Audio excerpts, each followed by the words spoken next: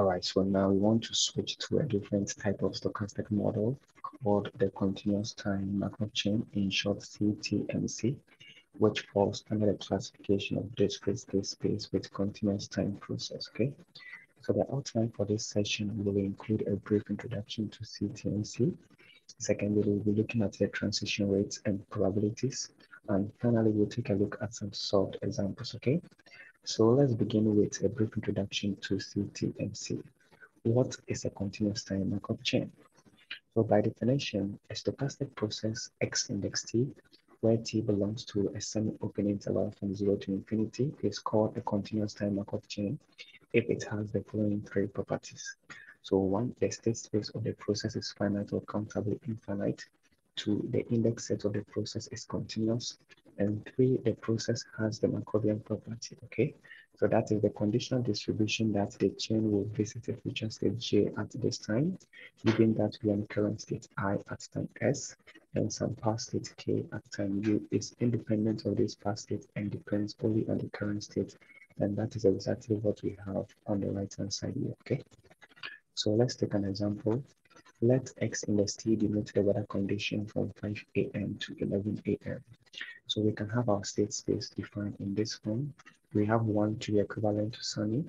We have two to be equivalent to windy. We have three to be equivalent to rain. And we have four to be equivalent to cloudy. And we can also have our index set to be an interval of real numbers from 5 to 11. We can actually visualize this process using the sample function. So this will give us a possible realization of the process we have our index set on the x-axis and we have our state space on the y-axis. Now, it is possible that before 5 a.m., the weather condition was observed to be between rainy and cloudy. Around 5 a.m., the weather condition was also observed to be between um, windy and rainy. Around 6 a.m., we also observed weather condition to be between these two states. So we can have this up to the 11th hour. Now, because the index set here is continuous or has a time component, it means that we have to take into consideration the weather condition within each interval of time, okay? So it is possible that we can observe the weather condition from 7.30 a.m. to let's say 8 a.m. So it is important we take into consideration the weather condition within each interval of time. And it is also assumed that the weather condition for the next period will depend on the weather condition at the current period, okay? So this is an example of a continuous time Markov chain. Let's take a look at some assumption underlying the CTMC. So we assume that the transition probability from state I to state J is independent of the initial time, okay? And this will give us a time homogeneous Markov chain. Now, if you take a close look at the index set, if you take the difference in the index set, are going to obtain this result. And this t here is an interval of time which can also be expressed in this form, okay? So once we observe a transition probability from the current state to the next state such that it is independent of the initial time, then you are going to have a time homogeneous Markov chain, okay? So now to the second session on transition rates and probabilities. Now take note that we whereas in a discrete time Markov chain, the interactions among the states are given in terms of transition probabilities, the interactions in a continuous time Markov chain are usually specified in terms of rates at which transitions occur. So a continuous time Markov chain in some states I at time t will move to some other state j at rate given by Q index ij per unit time. In this manner, while a discrete time Markov chain is represented by its metrics of transition probabilities at step n, a continuous time Markov chain is represented by its metrics of transition rates at time t. So intuitively, we can um, see that the continuous time Markov chain has two components. The first component is the jump chain, which gives the transition probabilities. And the second component is the holding parameter that controls the amount of time spent in each state. So let me use our previous example as a case study here. So assuming we are in this state at time at this current time, if we want to observe a transition from this state to the next state, this is given by the jump chain, okay, which is the transition probability from this state to the next state. That's the first component. And the second component is going to be the amount of time spent moving from this state to the next state, okay? Because now we have our index set to be continuous, okay? So we have to take into consideration the amount of time that is spent moving from this state to the next state, okay? And that is given by the parameter lambda or the holding parameter. Now we know from our previous tutorial that the distribution that can help us to describe a number of events occurring independently in an interval of time is the Poisson distribution, okay?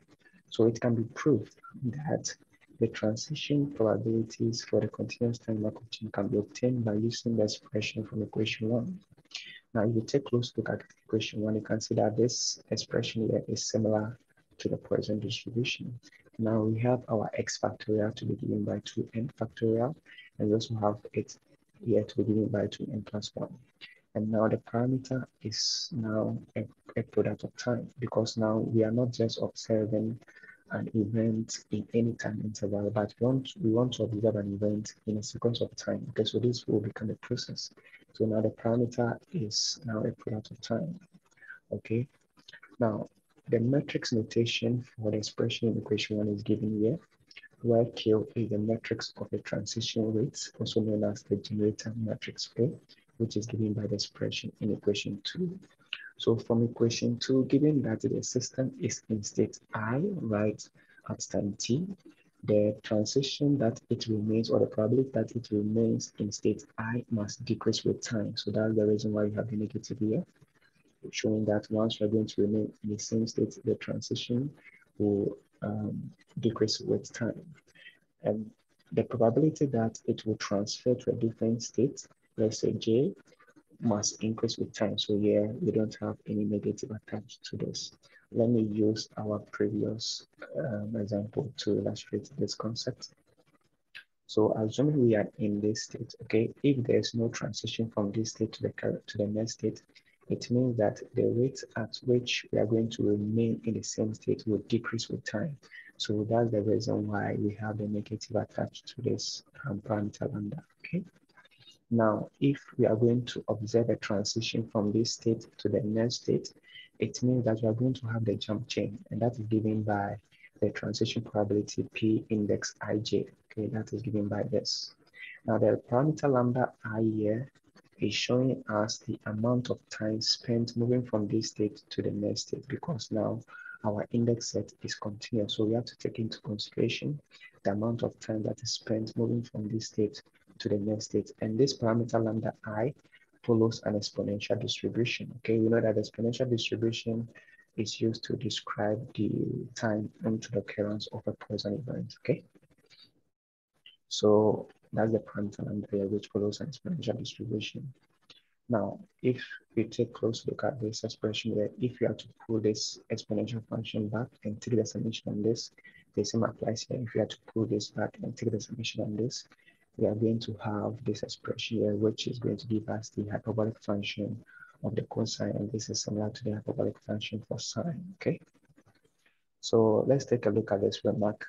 If we are to, from equation one, if we are to take the derivative of the transition probability with respect to time, we are going to obtain this equation, and there's a matrix form for the equation, right?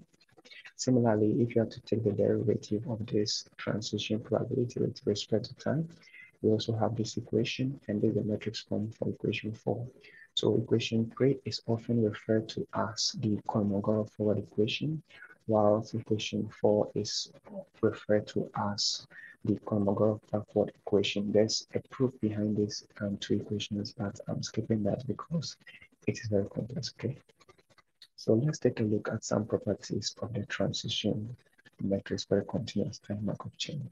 So the transition matrix must satisfy the following properties. One, um, when the transition probability matrix is zero at four times, then this will be similar to an identity matrix, okay? Secondly, um, the rows of the transition matrix must sum to one as usual. And finally, for all time S and T, we can have this expression in this form, okay? So let's try and take an example. Consider a continuous time Markov chain with two states, state zero and state one.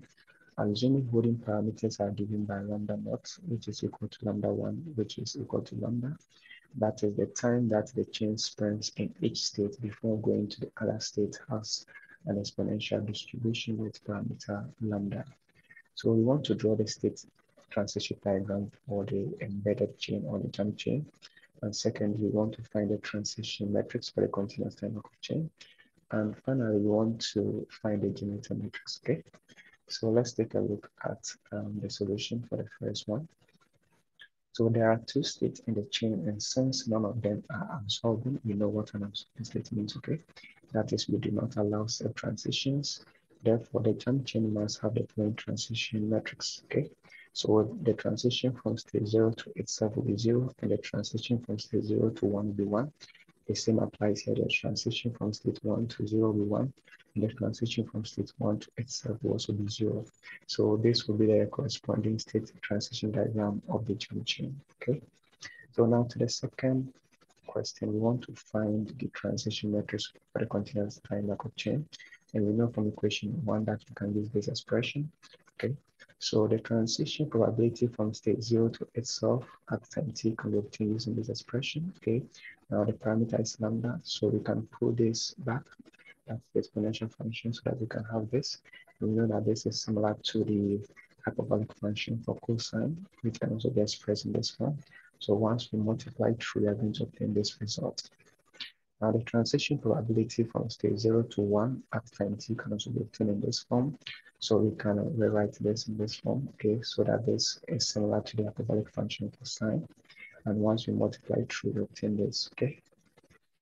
so because of symmetry in the process, it follows that the transition probability from state 0 to itself will be similar to the transition probability from state 1 to itself at time t. And also the transition probability from state 0 to 1 at time t will be similar to the transition probability from state 1 to 0 at time t.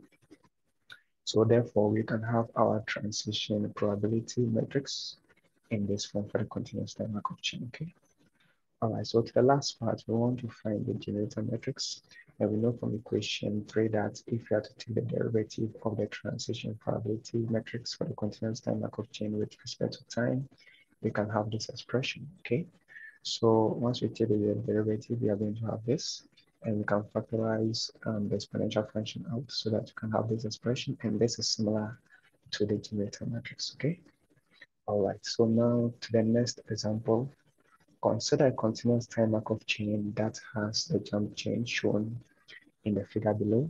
So assuming lambda 1 is 2, lambda 2 is 1, and lambda 3 is 3, so the rate at which we are going to move from state one to other state is two.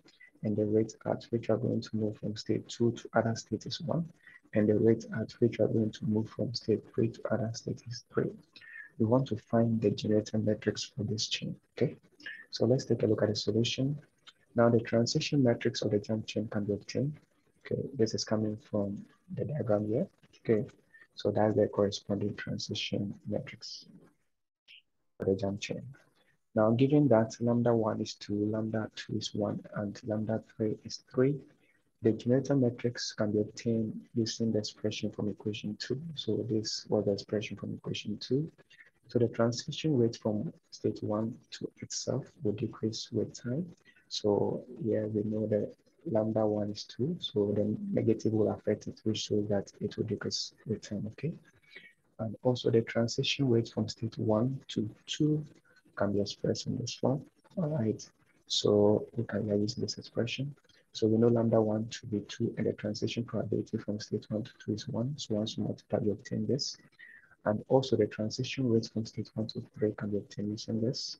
So yeah, the transition probability from state 1 to 3 is 0. So we can have this.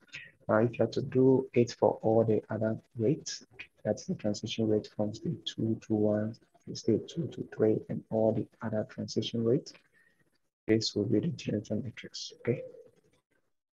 All right, so this will bring us to the end of this session. Please, if you find value in today's tutorial video, don't forget to subscribe if you have not. Um, thank you for watching.